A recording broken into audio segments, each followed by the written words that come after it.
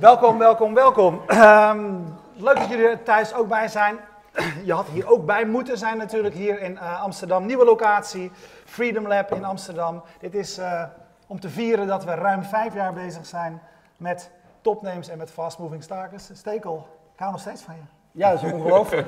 ja, nee, ze denken, mensen beginnen er zo langzamerhand wat achter te zoeken. Dus zeker als we biertjes, wat, wat voor bier drinken Bier, hier? Mannenliefde. Ja, als we dat ook nog gaan drinken, dan eh, beginnen mensen er wat achter te zoeken. Dus misschien... eh, Nee, maar eh, vijf jaar doen we dit programma. We zijn natuurlijk echt hartstikke trots dat we dit hebben volgehouden. En we zijn vooral heel trots op het publiek wat hier zit. En de mensen thuis die allemaal mee zitten te kijken. En dat we allemaal fantastische gasten elke week kunnen interviewen over innovatie. Want dat is de rode draad. Eh, Vincent, jij bent niet voor het eerst bij ons. De, de derde keer. Ik heb ook nog een keer op een boot gezeten met een uitzending. Dat Ja. was de vorige keer, hadden we Ja, het voor de eerste keer. Nee, we hebben allemaal geweldige momenten hier gehad. Laten we om te beginnen even toosten op vijf jaar. eh, Jongens, dat jullie dit volgehouden hebben. Elke dinsdag. Ik heb zeker een stuk of 18 keer gekeken vanuit mijn sauna. Ik wou het zeggen, vroeger kregen we nog van die plaatjes van je door. Ja, Gewoon in de winter. Ja, ja dat heerlijk, dinsdagavond. Altijd top. Ja, hey, jij bent. eh, ehm, we, hebben, we hebben vandaag een aantal gasten eh, gevraagd waar we recentelijk de afgelopen week eigenlijk eh, dingen over zagen langskomen. En jij bent de trotse bezitter van een, van een nieuwe auto. Je bent al jarenlang bezig met elektrisch rijden. Vijf jaar. Vijf jaar. Precies vijf jaar. Vijf Dus jaar, eh, ja. precies hetzelfde. Ja. Toen jullie begonnen, toen heb ik een Nissan Leaf gekocht. Dat was een ontzettend lelijke auto die je 100 kilometer kon rijden. Maar die reed heerlijk. En daar heb ik toen eh, alle camera's in gemonteerd, zo'n tv-studio. En dat duizenden mensen zeg maar, erin laten rijden. En ook eh, honderdduizenden mensen laten meekijken. Ja, ik zal nooit vergeten. Jij kan zo direct even vertellen hoeveel beter het nu is. Er was, er wa- er was een moment, geweldig. het was winter. Jij ging naar je broer in Arnhem. Eh, het was koud, familie zat bij jou in de auto. Verwarming mocht niet aan, want dan zou de accu namelijk te snel leeglopen. Had ik het niet gered? Nee, nee, nee. nee. Jij kwam in. Arnhem aan. Er waren toen nog nauwelijks snellaadplekken. Drie. Moest je, naar, je moest naar Doetinchem. eh, om- Zevenaar. Of Zevenaar, om, om hem daar eh, te gaan opladen. Zodat je op de terugweg weer in Nieuwegein, meen ik, eh, nog weer een keertje kon opladen. God, om, dan, om dan terug naar Amsterdam te rijden. Ja, ik ja. dacht toen al, man, waar ben je mee bezig? Ja, dit was lifestyle. Dat was echt gewoon 100 kilometer range. En ik de- reed er 1000 kilometer in de week. Dus ik, de- ik moest echt allerlei dingen doen. En dat kon eigenlijk niet. Het meest bekeken filmpje wat ik ooit heb gehad, dat is nu 350.000 keer bekeken, was dat ik van elke gewone auto een snellader kon maken. Dus ik zette een kabel, een trekkabel, te achter een, eh, zeg maar een autootje, een trekhaak. En dan ging ik, en dan ging ik liften. Dan zei ik, mag ik even meerijden naar het volgende benzinestation, want mijn accu is leeg. Ja. En iedereen zei, oh oké. En dan eh, ging ik erachter en dan ging ik hard op de rem trappen. En dan haalde die dus weer nieuwe energie. En als ik dan 5 kilometer meereed, kon ik weer 50 kilometer rijden. Maar dat vond iedereen briljant. Dat was echt gewoon van overal. Ja, maar eh, wat, wat heb jij met die gadgets op wielen? Want dat zijn Mij interesseert auto's echt helemaal niks. Eh, ik, vind, ik heb nog altijd gewoon auto's gehad. Ik heb 15 jaar gehouden. Ik kocht ze drie jaar oud. Ik reed er 13 jaar in en ik kocht weer een nieuwe. Maar op een gegeven moment toen die elektrisch werden, toen werden er meer gadgets op wielen. En wat mij vooral geïnspireerd heeft, is dat wij 70% van de olie uitgeven aan auto's. En auto's zijn dingen die 94% van de tijd geparkeerd staan. 94% van de tijd. Ze rijden een half uurtje per dag gemiddeld. En 80% van de energie die erin stopt is warmte en 20% is beweging. Nou, en olie, ik ben oud politicoloog. Dat weten mensen niet, maar ze denken dat ik een techniekman ben. Maar ik hou van verhalen vertellen en ik hou van, eh, zeg maar, politiek. En olie zorgt voor ongelooflijk veel problemen. En toen heb ik op een gegeven moment gezegd...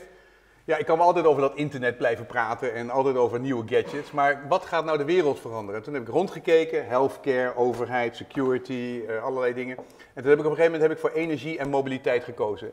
En ik zeg, dat is een van de dingen die, toen ik die, model, eh, die, die, die Nissan Leaf tegenkwam, toen zei ik, dit gaat de wereld veranderen. Die, die prijzen gaan omlaag en zeg maar, dit zal over een, een tien jaar, tien, vijftien, voor- vijf jaar geleden, 15 jaar, dit zal over 15 jaar de hele wereld veranderen. En daar ben ik toen over gaan praten. Hey, trouwens, even eh, voor de mensen hier in de zaal, maar ook voor de mensen thuis. Als je vragen wil stellen aan Vincent of aan anderen straks in de uitzending. Ja. Hashtag FMT, want we trekken de mensen hier in de zaal niet voor, eh, vergeleken bij de mensen eh, op de livestream. Al zei iemand al dat er waarschijnlijk niemand zit te kijken omdat iedereen gewoon hier zit. Maar ook goed, ook goed. Ook goed. Laat ons in die waan. En maar goed, hij zegt eh, goedkope Ja. auto's. Fake Eh, it, fake it, eh, fake, it- fake it till you make it. FMT applaus. Ja. Heel goed. eh, Vincent, je zegt het wordt natuurlijk goedkoper en, en beter en noem maar op. Beter, eh, dat zien we. Goedkoper zie ik nog niet, want je hebt hier nu die Model X voor de deur staan. Wat kost die? Eh, hij begint bij een ton. Ja, nou, En die van jou? Ja. Nou, er zit. Dus Nee, die auto kost een ton, ja. Maar even, er zit één klein idioot feature op. één klein ding en die heet Ludicrous. En daardoor ga je in, eh, in plaats van 5 seconden naar de 100, ga je in 3 seconden naar de 100. En dat ene kleine ene knopje kost 60.000 euro extra.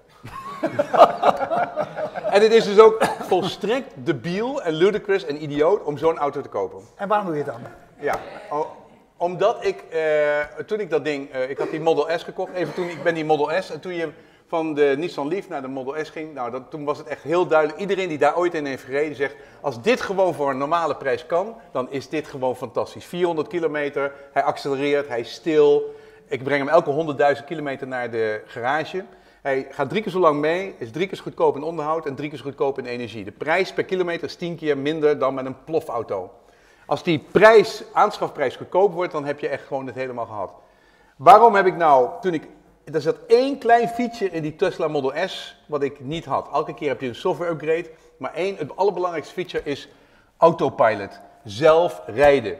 Want ik denk op het moment dat auto's zelf gaan rijden, dan stap je uit, dat ding parkeert zichzelf, dat laat zelf op, dat gaat iemand anders helpen. En op dat ogenblik heb je niet dat we auto's, dan hoeven maar 5% van de auto's dat te doen. Die gaan gewoon rondrijden en dan heb je echt gewoon veel minder auto's nodig. Want die zijn gewoon niet 95% van de tijd geparkeerd. De prijs per kilometer wordt een factor 10 lager. En dan is het zeg maar gewoon gedaan met die plofauto's. Nou, dus autopilot was essentieel. Dus ik moest een nieuwe auto hebben, want die oude Tesla, die, die had die, die sensoren niet aan, eh, aan boord. Nou, en toen heb ik op een gegeven moment gezegd, nou, als ik dan een nieuwe koop, dan kan ik maar beter ook gewoon de laatste model kopen, want die vleugeldeurtjes zijn zo leuk. En toen op een gegeven moment heb ik toen ook maar in een volkomen verstandsverbijstering in één avond, heb ik maar die knop Ludicrous ingedrukt. En toen heb ik ook meteen niet meer naar aan gedacht. Want als je eenmaal in die auto hebt gereden, we hebben echt gewoon eh, met een paar, met Jacqueline of zo, Frederik, wie was het? ja, eh, ik, ik Ja. vind dat we Die er wel genoeg eh, over gekletst hebben, Vincent, eh, over die auto. Hij Oké. staat hier voor de deur. Nee, mag ik nog even één Mart- ding... Martinez doet de Wirecast het? Mag ik nog één ding, mijn verhaaltje Ja, even afmaken? even. Want op het moment dat autopilot... Over drie jaar, in 2018, hebben we zeg maar 35.000 euro auto's die voor middenklasse betaalbaar zijn. Drie jaar later zijn ze 25.000, drie jaar later zijn ze 15.000 euro. En dan heb je van die automatisch rijdende auto's. En dan gaat de hele industrie gaat er, zeg maar, compleet veranderen. Hebben we vier keer zo weinig auto's nodig. Parkeerplaatsen zullen gewoon verdwijnen in de stad. En we zullen 100% op zonne-energie rijden. En dat vind ik een mooi perspectief. En daarom ben ik hiermee bezig. Je mag je microfoontje even afdoen. Dan gaan we even kijken. Dan kan in de tussentijd Ru- Ruben Nieuwenhuis vast aan tafel komen zitten. Eh, maar wij gaan vooral even naar jouw auto kijken. Oké, mag ik u verzoeken om allemaal even mee te gaan naar mijn Nee, auto? nee, mogen ook allemaal. meegaan. Nou, dan kunnen wel een paar mensen mee. Dat ziet er wel gezellig uit.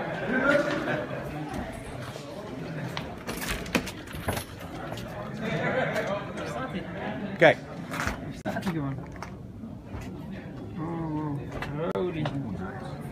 Ja, het idiote, kom er maar even uit. Kom er even uit, dan kun je het even zien. En loop er maar even in. Je mag er ook in- even in gaan zitten. Dat is hartstikke leuk. Nou, het eerste met die Model X, die ziet er, eh, je, wat je moet hebben is verschillende cilinders. Mensen moeten druk ik op de, de, de, zeg maar, de cruise control, haal ik twee keer naar me toe en dan rijdt dat ding zelf. Dan zegt iedereen ook, wauw. Nou, en daarmee maak je, het, maak je het kop open om voor mensen om dat verhaal van mij te ontvangen. Laten we even gaan kijken in de cockpit. Even in de cockpit. Mogen wij even een opname maken hier op de voor? Mogen wij even hier met de camera gaan zitten? Kom even open, open doen. Nou, veel interesse.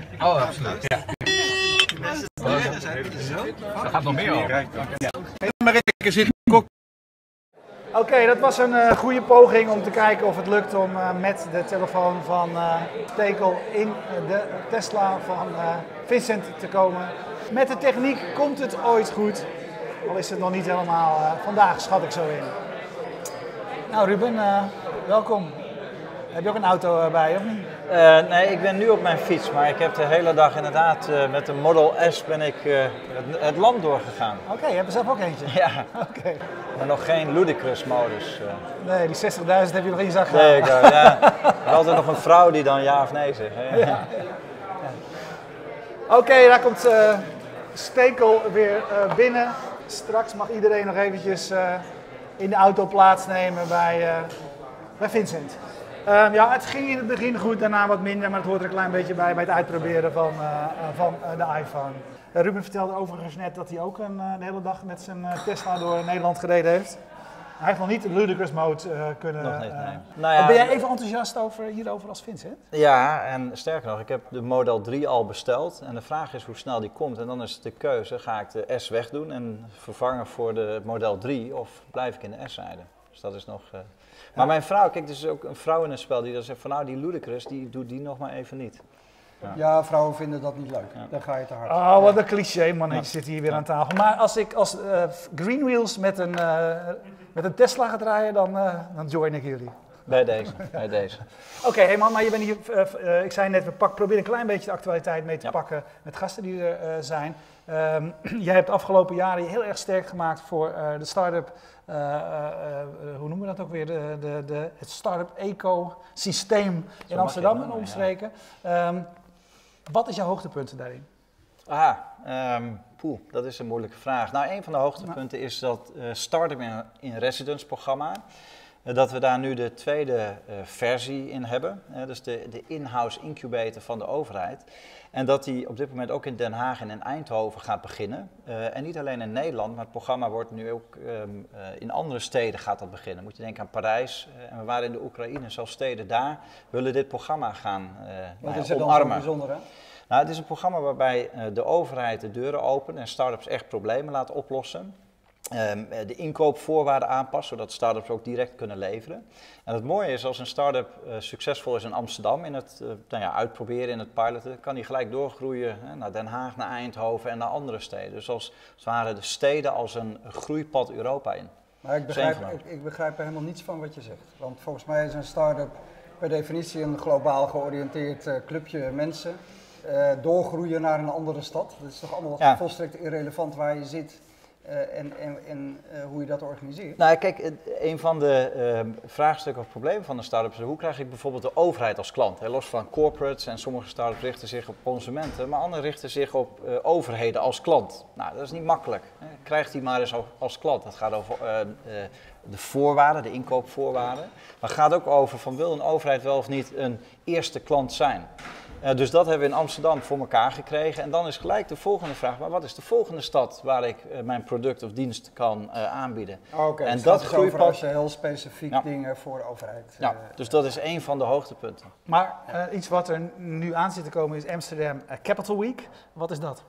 Uh, de Capital Week uh, zijn we een jaar geleden hebben de eerste editie gedaan en dat heeft tot doel om het investeringsklimaat in Amsterdam te verbeteren. Um, meer investeerders van buiten, investeerders die op dit moment nog niet in de tech sector zitten of in de start-up sector, die daar ook in laten investeren. Um, en we hebben de eerste editie eh, vorig jaar als een soort van MVP neergezet. 500 investeerders, 25 evenementen. En dit jaar is de tweede. Um, uh, al in handen van uh, twee ondernemers die dat hebben opgepakt. Uh, Anouk Bikkel en Andrea Bosboom. Die zouden hier eigenlijk moeten zitten.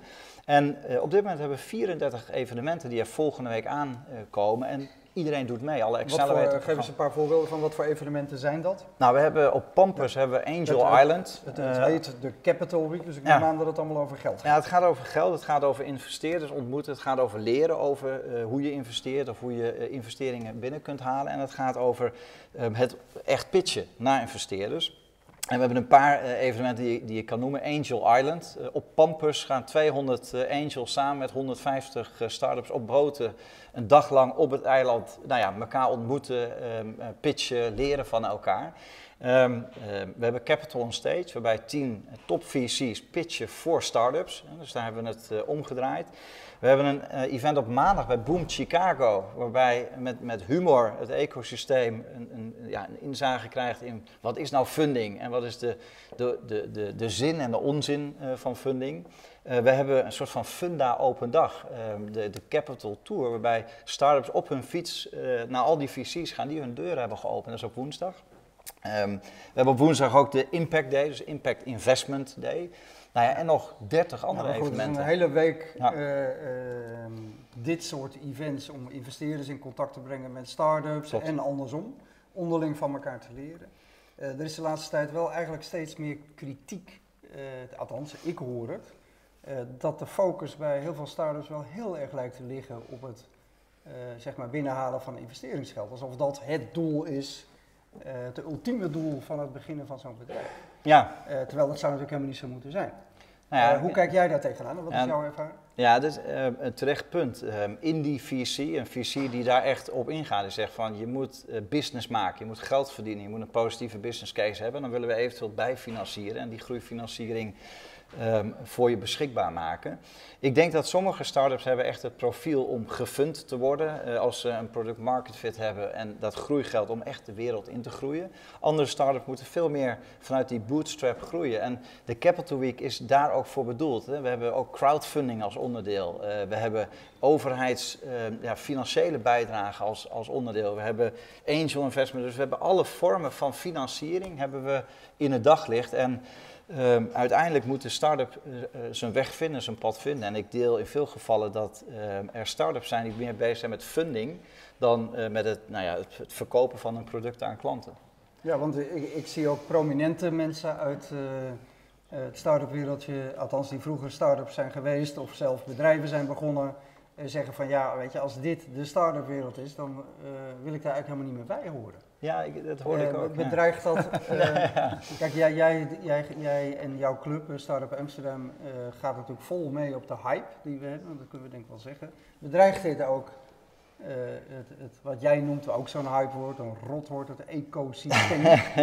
ja, de, de, hetzelfde gesprek als een paar maanden geleden. Hè? Ja. En wij, wat we eigenlijk doen is gewoon steeds zo'n ja, toch even, toch, toch even en omdat je volgende week zo'n Capital Week hebt, wordt het nog weer eens benadrukt. Want je, jullie, je, je, je ziet het blijkbaar vooral tot je taken ook, om over dat geld mensen te informeren. -hmm. Terwijl ja.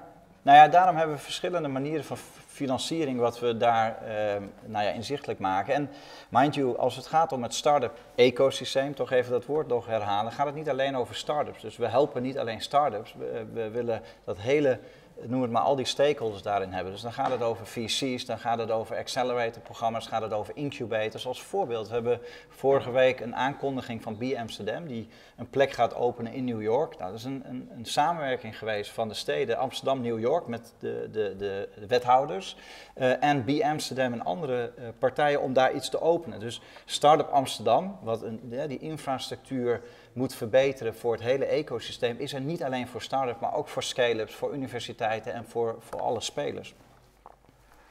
Wanneer is het en waar kunnen mensen meer informatie vinden? Um, het is um, vanaf volgende week maandag uh, tot en met vrijdag. En uh, als je gaat naar capitalweek.amsterdam, dan, um, nou ja, dan vind je alle events. En als je dan als investor aanklikt uh, waar je van bent, dan krijg je een overzicht van evenementen die beschikbaar zijn voor jou. En uh, als start-up hetzelfde.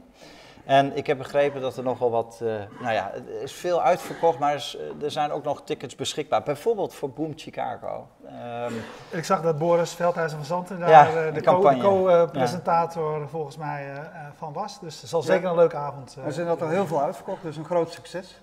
Ja, nu al, denk Bij ik. deze, absoluut. Ja. absoluut. Oké. Okay. Hey, ontzettend bedankt.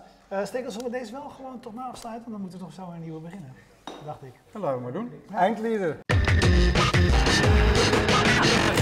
Ja, is dit helemaal